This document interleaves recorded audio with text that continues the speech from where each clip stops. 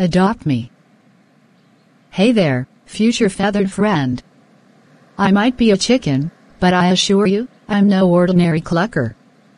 Looking for a companion who's all about the feathers and fun? Look no further. Extraordinary qualities. I come with a built-in breakfast supply, fresh eggs every day.